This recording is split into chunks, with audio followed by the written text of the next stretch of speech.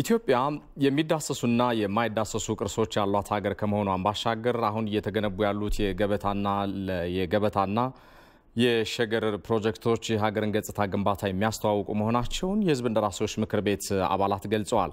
ፕሮጀክቶቹ እንዲሳኩና እንዲስፋፉ ለማስቻል ታዲያ በየደረጃው ያሉ አመራሮችና ሙያተኞች እያደረጉት ያለው እንቅስቃሴ ምን ይመስላል የሚለው ከሕዝብ ተወካዮች ምክር ቤት አባላት ለጠቅላይ ሚኒስትር አብይ አህመድ ከተነሱላቸው ጥያቄዎች መካከል አንዱና ዋነኛው ነበረ። በኢትዮጵያ ውስጥ ብዙ ሀብቶችና እድሎች መኖራቸውን ያነሱት ጠቅላይ ሚኒስትሩ አይናችንን በመግለጥ ኢትዮጵያ ያሏትን ሀብት ማየት ያስፈልጋል ብለዋል። ጠቅላይ ሚኒስትር አብይ አህመድ አክለውም እነኚህ ፕሮጀክቶች እንዲሳኩም ብዙ ፈተናዎች የገጠሙን ቢሆኑም ፕሮጀክቶችን ከግብ ለማድረስ ወደ ኋላ አንልም ሲሉም አብራርተዋል።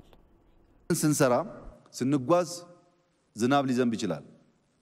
ስንጓዝ ጠራራ ፀሐይ ሊመጣ ይችላል። ጥላ ፈልገን ይዛለን እንጂ ዝናብ ተዘነበ ስራ እናቋርጥም። ስንጓዝ ሊበርድ ይችላል። ውርጭ ሊመታን ይችላል። ካፖርት ጋቢ እንፈልጋለን እንጂ ስራ እናቆምም። ባለው ፈተና ውስጥ እየሰራን ነው ሀገር የምንገነባው። ይሄ አሁን የምንሰራው ስራ ውጤታማ ነው አይደለም፣ ትውልድ የሚያይ ይሆናል። ነገር ግን ለኢትዮጵያ ይገባታል፣ ያስፈልጋታል። ይሄን ለማወቅ ከፈለጋችሁ ትናንትና እንጦጦ ብትሄዱ መዝናኛ ፓርክ ሳይሆን ሰላማዊ ሰልፍ ይመስላል። መቆሚያ ቦታ የለም። ከፍተኛ ፍላጎት አለ ማለት ነው። እንጦጦ ያ ሁሉ ሕፃን ያ ሁሉ ሰው እየሄደ አየር ቢስብበት ምክንያት መተንፈሻ ቦታ ይፈልጋል ማለት ነው። ማስፋት አለብን።